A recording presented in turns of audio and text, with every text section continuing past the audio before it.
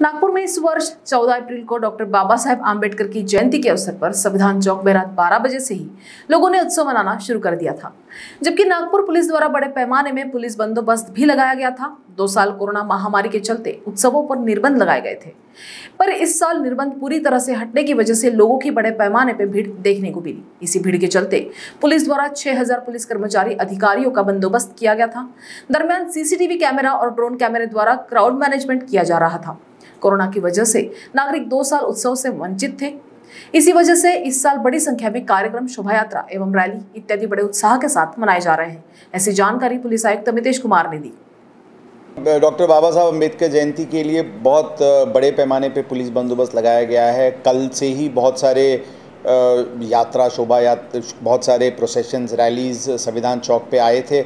आज भी बहुत सारे कार्यक्रम हैं, बहुत जगह गर्दी हो रही है। बेसिकली दो साल कोरोना होने की वजह से उसके बाद ये पहला बार, पहला उत्सव है जिसमें रेस्ट्रिक्शंस नहीं हैं। तो गर्दी ज़्यादा दिख रही है, लोगों का उत्साह ज़्यादा है।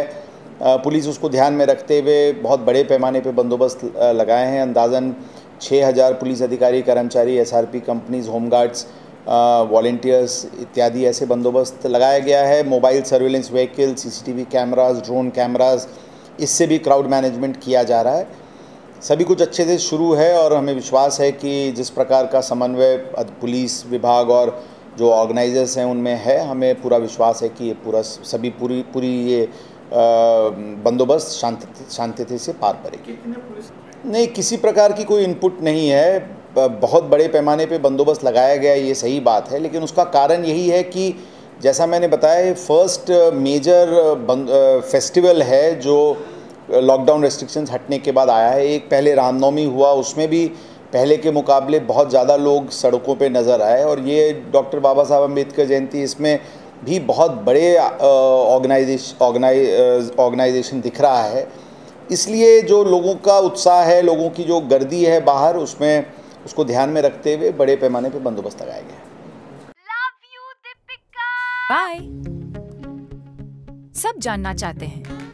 मेरा फेवरेट कलर मेरा फेवरेट डेस्टिनेशन मेरी फेवरेट डिश पर कोई ये नहीं पूछता कि फेवरेट डिश मैं बनाती कैसे हूँ। अरे यार, जिसे टेस्टी खाना पसंद है, वो अच्छे टेस्ट तक पहुँच ही जाता है। सुरुचि मसाले। खाने में हो रुचि तो घर लाइए सुरुचि।